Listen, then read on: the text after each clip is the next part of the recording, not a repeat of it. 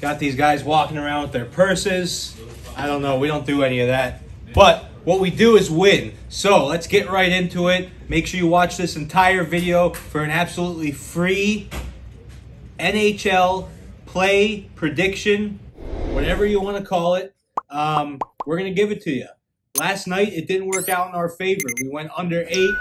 Um, the under was looking solid going into the ninth innings, three to three. Of course, having this, the close game is a scary thing. And sure enough, extra innings, 4 4.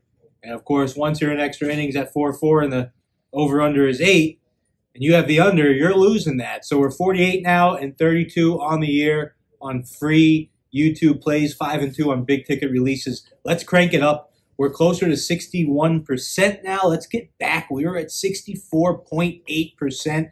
That was a record high for free games. Let's get back there. Um, and let's just put last night's disgusting game behind us. Moving on to today. As you guys know, our last six free hockey plays have been five and one. So we're going to give you guys another hockey play. That's what's been good for us. We're going to hit it with you. Toronto Maple Leafs are on the road against the Montreal Canadiens, 7 p.m. Eastern Time. Um, potentially 8 p.m. Eastern Time, actually, now that I'm looking at it. Um, and these two teams, obviously, as you if you've been following hockey, these teams are playing a lot.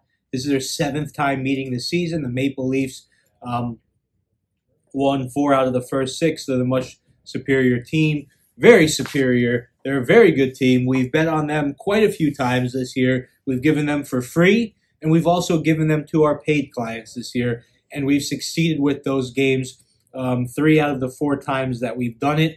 The Canadians were absolutely on fire for the first month of hockey. We had those a few them a few times too, Montreal Canadiens, but they have not won two back-to-back games since the beginning of February. Not very good. They're coming off of a win in their most recent game against the Calgary Flames.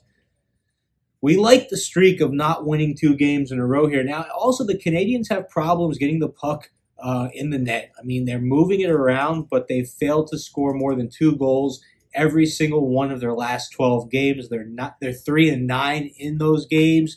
Um, the rare wins came one of the rare wins actually did come against Toronto earlier this season, but we're not seeing it happen again. We're just not. They're just a bad team statistically. They rank around the middle of the league in, offensive categories, despite ranking toward the middle. Um, and they are, you know, they're not giving up a ton of goals per game, which is it's solid for them. But Toronto's goalkeeper is only giving up 2.24 goals per game, ninth best in the league. Um, the Maple Leafs are top 10 in goals scored, shooting percentage, assists, power play percentage, just about every other offensive category you could think of. Forget about it. They're led by Auston Matthews, TJ Brodie, all these other stars. Um, we see them winning this game and winning it handily. They've won two in a row, both against Winnipeg Jets on the road. Um, looking at their schedule, they have some nice streaks here of three wins or more. So they have no problem putting those streaks together like their opponents do. So we think they're going to keep that streak going. Um, and, and, really restart uh, another really long hot streak tonight, looking ahead in their schedule. We may even ride them throughout the week on another play. You never know. But we do know that tonight we are going with the Maple Leafs minus 150. If you want more of this stuff, Make sure that you subscribe to the YouTube and turn your notifications on, please. This way you get the alerts right away. And if you want more than the free games, click the link in the description, in the YouTube description, um, or in the Instagram bio. I will see you guys tomorrow at this point. Um, we might be riding hockey all week again, like we did last week, to bring us home for a positive week. We'll see, but I will see you tomorrow for another play.